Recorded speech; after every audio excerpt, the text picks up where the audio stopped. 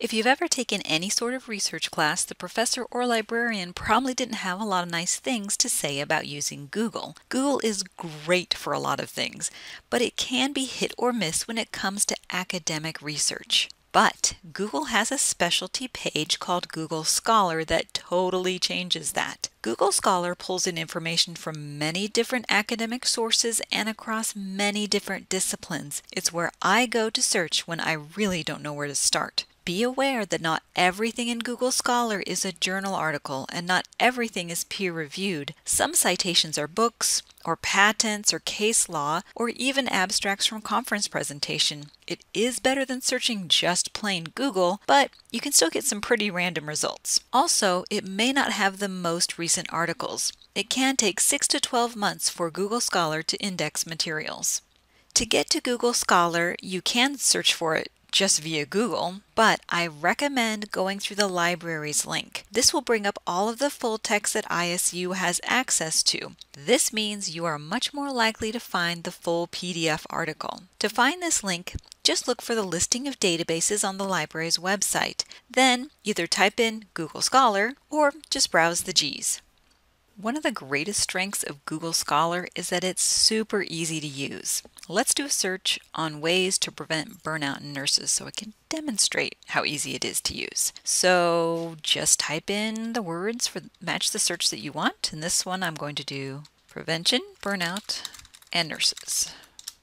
And Google is very helpful, saying, Did you mean preventing burnout in nurses? And I guess I could. Prevention or preventing will work. And thankfully, Google is actually pretty good about recognizing synonyms and different spellings. So even though I typed in prevention, if you can see some of the bolded words, you can see it looked up preventative and preventing in addition to. So yay for Google. And by default, Google searches by relevance. That means it's putting the articles that most closely match what you typed in towards the top. You can come over to sort by date in order to change that, but generally I leave it by relevance. One of the things I do change sometime is the custom range, and you can include the last five years or the last year or whatever range of dates that you want.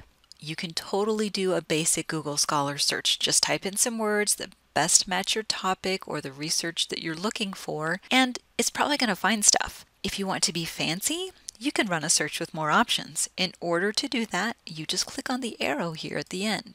Now, this is bringing up a box of additional search options. It has the search that I just had, but I'm going to change my search now. And I'm going to try to find articles that talk about how uh, the health literacy of patients impacts their outcome or their health outcomes. So I want health outcomes for sure in all the words. That means I'm telling Google Scholar that I really want anything that mentions the word health or anything that mentions the word outcomes. I don't really care what order those are in, I just want both of those words to appear in the articles. The next line down is exact phrase. This is an amazing and wonderful thing to do. If you've ever searched with quotes, that's the thing that exact phrase is. So again, I want to find information on health literacy, but I want this to appear as a phrase. I only want articles where these two words appear together. So I'm going to do health and literacy.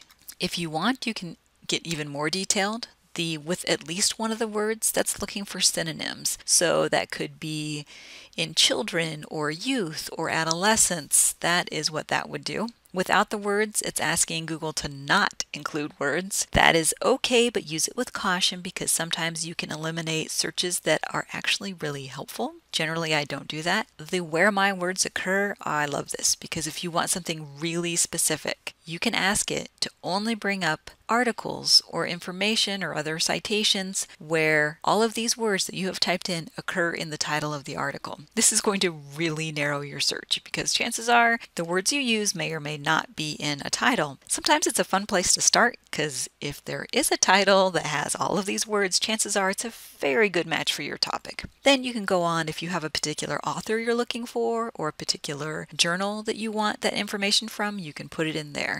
And you can also limit the date. So let's do 2010 to 2016. Let's see what we find. Okay, it only found 119 results for Google Scholar. That's amazingly low. That's because we were so specific. And you can see how this fancy search up here got translated into what Google actually searched on. If you turns out that the all in title thing just over narrowed your search and either you get zero or you only get a few, you can just come in here and just delete that. And if I start looking through some of the articles, especially that top one, that's exactly what I'm looking for. And so now let's talk a little bit more about what we are actually looking at when we're looking at Google Scholar results. As long as you're logged into ISU Libraries Google Scholar, then you are going to be able to see these Find It at ISU links. That means we should have access to these articles and you should be able to get to the PDF or full article if you just click on that link. You're also going to see some PDFs and HTMLs. That just means we have access to other versions as well. All right, now let's look at this top article so we can talk about some of the other things that Google Scholar offers. It is a very simple database to search, but it's actually doing some pretty powerful things in the background to make your search even better. The cited by feature in Google is pretty much my favorite thing ever. If there's an article that it's super relevant to your research, so like this top one is for me, then you might want to click on the cited by link. This will show you all the articles and sometimes books and other sources that have cited the original article, the one here that's at the top. This is a really great thing not only to find articles that are similar to your topics, but it also can track the development of ideas and concepts by following this path forward over time. So you can continue to click on other cited by features. And this is going to take you closer and closer to present day. Eventually you will reach a point where there won't be any cited by because you are at the current year or the current date. I'm going to go back to the original search page. And if you want to track the article backwards through time, the way when you do cited by you're going forward, and if you want to do it backwards, of course, you look at the reference list, and that is what that particular article has cited. If you can't get to the PDF, like in this case, it looks like we would be able to, but if you are unable to, what I do is I copy the article I'm interested in, and then I click on this Web of Science. This is going to show up if you are logged into ISU's version of Google Scholar. It's a separate database. It also does some of the site, same citation tracking that Google Scholar does.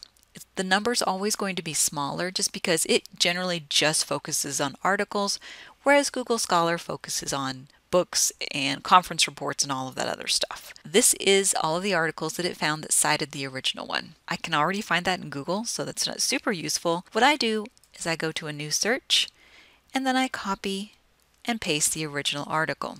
Now, there it is. I can bring that up. It tells me how many times it's been cited. Again, that's going forwards in time, but it also lists the references that this particular article cited. So these are going to be older information, but sometimes it can be really helpful to expand a search, especially if you're stuck on something. So here's the list of references. Some of these we have access to, so you can get to the PDF and you can just continue expanding your search from there. Not 100% necessary for sure, but it can be helpful. The Related Articles feature searches for other articles that use similar phrases or terms. This isn't an exact science, but it can lead to interesting results, and again, it can expand your search and help you find other things related to your topic.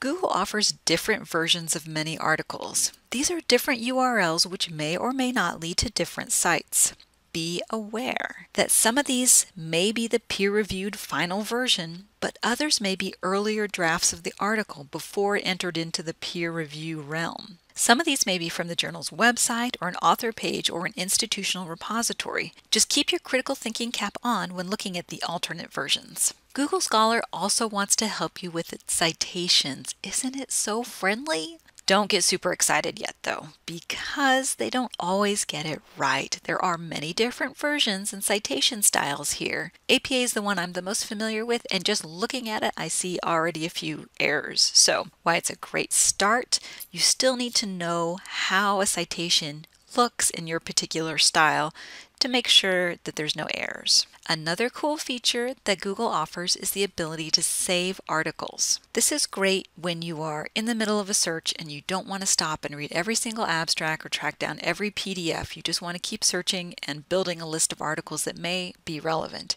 Then, when you have time, you can go back and see if they're relevant or not. And you need to be logged into Google to do this. You just click on the save, and then once you are ready to go back and look at the saved articles, you just go to My Library and they should all be there. The last feature is the search alerts. So let's say this is a great search. This is exactly what I'm looking for, and this is something that I'm interested in, and I will continue to be interested in the new research that comes out. I can create an alert. This is what my search looks like. I can email it to myself. I can say, hey, I want 10 or 20 results, and then I create the alert.